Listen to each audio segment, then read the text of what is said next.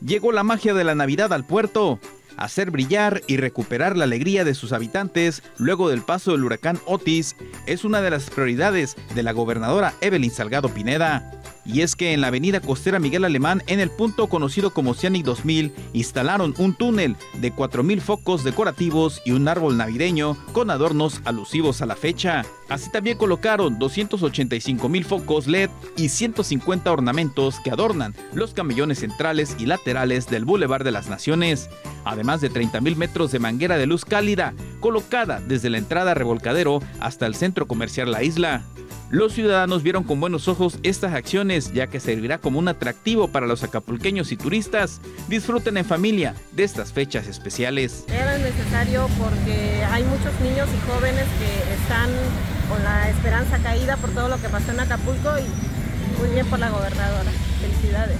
Este, muy bien, o sea, mucha alegría para Acapulco, para que se vea diferente y pues lo que nos pasó este, Acapulco siga igual. Pues qué bueno para que tantito estemos un poquito contentos. Pues muchas gracias.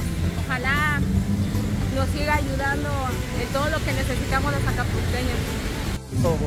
Qué, bien que, se esté, nos esté invadiendo ya el espíritu navideño y qué bien que la, autoridad pues esté este, poniendo sus luces. Eso nos, nos da ganas para seguir adelante. Creo que es una motivación para todos los acapulqueños.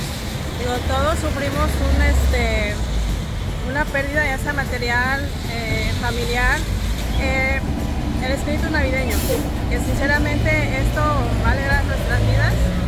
Estas acciones demuestran el compromiso de la gobernadora Evelyn Salgado de embellecer Acapulco tras el paso del huracán Otis, además de darle a la ciudadanía un motivo para celebrar estas fechas con gran espíritu navideño, digno del hogar del sol. Para RTG Noticias, Cristian Núñez.